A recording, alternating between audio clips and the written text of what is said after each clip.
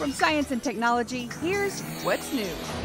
More maize is produced annually than any other grain on Earth, and it's the most important cereal crop in sub Saharan Africa. Maize, or corn as it's known in the United States, is susceptible to a type of mold called mycotoxin. The mold raises the risk of chronic diseases, including cancer.